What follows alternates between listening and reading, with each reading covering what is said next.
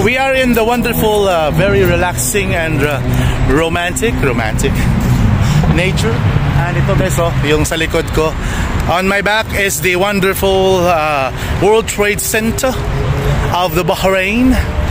And uh, we are now here at the Park of the Avenues in which we will going to be enjoying the time uh, relieving our stresses in life. And uh, marami po ditong ibang lahi din na naglalakad, hindi lang po kami. Gaya ng mga ano. Ayan o. Oh. Pakita namin sa inyo guys, may mga scooter. Ayan. The good thing about this place is that the Bermuda grasses are real. See, look at the Bermuda grasses, guys. The grasses are real. See? Yeah. Look at that.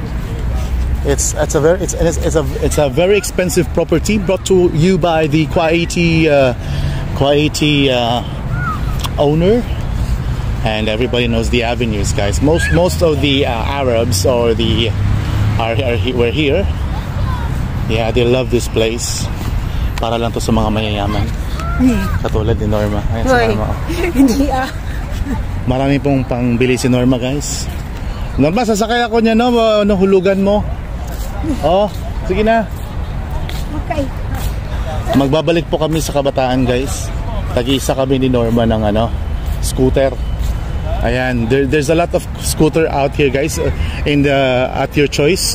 Yun po sa dulo may green po. Ayan. Yan po si Sara Duterte. Yung gitna naman po yung silang Benigno, late Benigno Aquino, yung dilaw. At nandito din si ano, oh, wala namang violet no? Ah, blue. Si Isko Moreno nandito din sa Kasipakyaw. Oh. Ayan, at ito ang ating dalawa, dal dalawang BBM. Oh, pasensya na po ka Lenny, wala ka pong kulay dito. Hindi ka po welcome dito sa ano, parke namin. Ayan, mag-enjoy po kayo guys. Ayan oh, tingnan nyo guys oh. Napakagandang Bermuda na yan. Oh, wala, wala, wala. Mahirap sa atin maganyan guys. Hindi ka basta-bastang makaupo dyan. Pero dyan guys, pwede kang umupo dyan sa mag, mag ano ka, mag-picnic. Tignan mo yung mga pamilya doon. Huwag ka lang magkalat guys. Ayan, kasi this place is being surrounded, monitored by the CCTV camera. Look at the post over there. Ayan. May mga cameras yan. So, uh, uh, they, uh, they really encourage the families to take their picnics on the place around here on the backyard on the, ayan ang dami nila guys oh kasi Thursday and Fridays and uh, uh, those were the weekends of the locals di ba walang pasok pag biyernes Di ba, Norms? Wala. Oh, kaya kami ni Norma mag-upo kami dito sa grasses because we do believe that grasses can relieve you from the stress the stressors in life. Ayan, tinan mo si Norma guys, oh. Model ng Arwa Water. La, ganda mo tignan, no? Tingnan mo, tingin ka sa kano ko. Ayan, oh. Nasa World Trade Center ka. Two structures of the of the uh, Four Seasons Hotel, di ba? Tsaka ito, Wyndham Hotel yung parang ano guys, ano bang klase yan? Ano bang klaseng shape yan? O, o, o octagon o nago? hindi ko hindi ko masyadong ala ano. Twist, twist nagon? Basta guys, para siyang parang pinigang ano. Uh, para siyang barena, yung dulo ng barena. Ayan, yung yung yung sukat ng building na yan. At of course, it's a family day, family time around here. And guys, kung nakikita ninyo isang napakagandang uh, area dito po sa Kingdom of Bahrain. Ito po yung tinatawag ni The Avenues. Ayan, kung nakita ninyo guys, napapalibutan po tayo ng magandang Bermuda grasses around here. Ayan, nature na nature po yan guys. Oh, natural na natural yan. Ayan. Ayan. At uh, sa likod lang yan ay ating Manama, Manama Center. It's a very wonderful night around here at uh, I really love this place guys. Way back before dito po ako nag-ehersisyo. Uh, Ayan, iniikot ko po yan. Yan, uh, naikot ko pa yan ng mga ano, five times. At uh, solved na ako dyan guys sa aking workout for the day. That was last year when my stomach was still a little bit uh, sexier. Ah, sexier. Ngayon guys, ano na guys? Most sexier. anyway guys, ayan. Ang ganda po ng lugar at uh, it's very uh, it's very uh, uh, windy evening here in uh, The Avenues. Kung uh, inyong masasearch sa internet guys, yung The Avenues Bahrain, ito na po yun. Ayan. It's, it's very uh, free guys. Free lang po na pumasok dito sa park na ito. It, it looks like exclusive or private, but it's actually not. You don't you don't have to pay anything to get your access here, and uh, they welcome everyone to take their, of course, their uh, their leisure their activities for the children. It was really designed for the family, guys. Because look at it, their, their the, the the babies were safe. Yan wala po kasi ano mga sasakyan na makakapasok po dyan sa gitna-gitna lang po ng park. Yan may mga scooters din na pwede nyong rentahan para mag-enjoy yung mga medyo malalaki nyo ng kabataan while the families, the mothers and look at that guys so and then they're, they're bringing their families around here. There is also a, a, a park over there. What you call this man anong tawag doon norms? Anong tawag doon? Uh, mga siso ganyan. Sa mga pambata laruan pambata meron din sa dulo. At yan. It's a family day. Of course it's a muslim country and uh, thursday and fridays uh, in the evening. Usually it is their family days gatherings and yan. Gumagala po sila weekend po yan sa kanila. It's like uh, saturday friday naman sa atin. Okay, so. So marami pong mga ano, marami pong mga uh, taga-ibang lugar na pumupunta din po dito, dumadayo gaya na po ng mga taga Saudis, uh, minsan mga taga Dubai din, Kuwaiti, but mostly Saudis kasi yan lang yung uh, tawid tulay na nakakapunta po dito. And they get to spend their weekends around here in Bahrain together with their families. They've enjoyed the wonderful open place of Jufair, which we all know that Jufair is a place for for entertainment, leisure, and of course, there's a lot of uh, places also for shopping, uh, restaurants, and uh, uh, entertainments. Yan, may marami pong mga music dyan guys. Mga nagpe-perform ng mga concert, private concerts sa mga hotels. At uh, so on and uh, marami pa.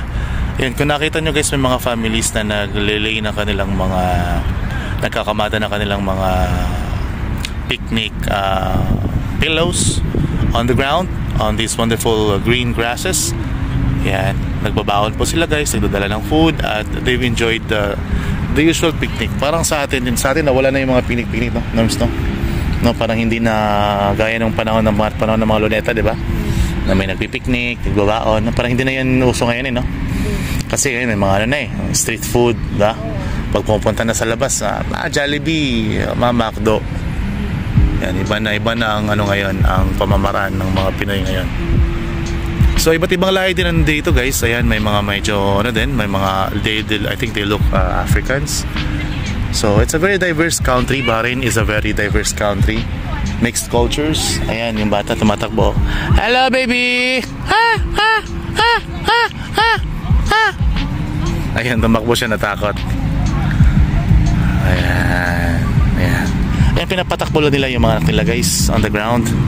Ayan, the Manama World Trade Center is just in front of us. Look at that wonderful structure around there. The Avenues. Yan, kaya ang pangalan dyan guys na umiilaw. It says The Avenues. And the right side yung Arabic na word. Shortcut lang siya. So paglabas mo dyan guys, yan, pwede ka nang umixit doon. Manama, manama na naman yun. Manama Center.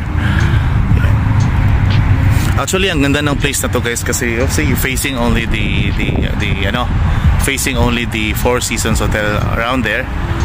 At yun yung avenues na may vlog din kami ni Norms doon sa outdoor na kanilang mall. Pero kami nandito kami sa ano nila, uh, picnic area, grass area, ano ba tawag dito? Yung open area, Bermuda area, ayan. Oh. Pure talaga siya sa Bermuda guys oh. Nag-i-enjoy ka. Ah, nakapaa ako guys oh. Dati uh, iba talaga ang benefits ng nakapaa ka guys. On the Bermuda grasses parang hinihigop na yung mga toxic energy, negative energy sa iyong katawan. And of course, you get to reap the benefits of fresh air naman dito lamang po sa open lagoon ng The Avenues. Mula po dyan sa dulo doon, yan guys, so mula sa dulo doon, hanggang sa dulo po doon yan ng the avenues. Puro po yan katubigan guys. It's uh, oh, it's a separate uh, water landscape. Uh, man-made of course. It's a man-made structure at uh, lagoon niyang sa gitna. May ma-open space na matubig. At hindi naman siya yata stagnant no? Norms no? Hindi siya stagnant. It's not stagnant uh, so nakakapag ano din yung water. May mga living creatures din dyan but it was designed for a wonderful bay uh, like a bay ocean view area even in the middle of the city. Right in the middle of the city. And look at the, the trees guys oh. They've grown up well. Ayan. Yun yung nakaupo. Mga ano din yan oh, mga Pakistani. So they've also enjoyed the the park around here So dati open yan yung ano Jess, open yan dati yung ano diyan. Ngayon sinasinara na nila uh, kasi meron yatang upcoming na construction to be to be safe for everyone. Kaya sinara po nila. At kung matapos man yan, it's a very wonderful uh, improvement pa naman, development dito sa kalagitnaan ng uh, Manama So wait, 2017, eh 17 to 'di ba? 18. Uh, naitayo po tong The Avenues. So kung babalikan natin yung mga year na nito ko, it was 2014 or 15, hindi pa po ganito ang The Avenues. Ngayon, maganda na siya guys. Oh. So wonderful. Kung nagtataka po kayo guys kung paano ito na-maintain nila na green ang mga Bermuda grasses around here, it's because ano guys, um, early morning matik na po yung nagdidilig kusang nagdidilig. Yan meron silang mga hose po dyan na naka-implant. Yan. Kung sa Afghan guys may mga planted na bomba. Dito may mga planted na ano pandilig. Yun ang ganda oh. Kala mo talaga guys ano golf ano? Pero tutusin mo isipin mo guys yan tinapapwede kayo pinako sa inyo yan guys so green na green pero kung tutusin nyo guys, uh, akala nyo lang fake yan. Fake yan, hindi po yan fake guys. Ayan, that is, that is real. Okay, that is naturally, naturally real. Ayan, no? Diba? Ganda ng background ko, diba? Sara na Sara Duterte. Natural na natural. Walang pang-iimot. Ay! Ayan guys, maraming salamat sa inyong patuloy na pakikinig sa aking uh, programa. Ito po si Zaldi Bahrain na uh, ang inyo pong uh, halingkod. Naguulat lamang po sa gitnang silangan. Patuloy lamang po kayo makikinig sa mga balita-balita sa dito sa radyo telebisyon. Angat po po ay uh, naway kayo ay uh, nakakapulot na naman ng magandang aral at uh, magandang buhay habang kami ni Norma ay uh, nagbablog po sa inyo about po sa kagandahan at kabuhay-buhayan naming mga OFW dito po sa gitnang silangan.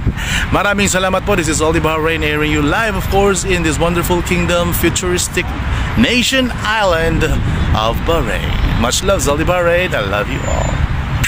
You, you, cause I only want you, yeah. Cause I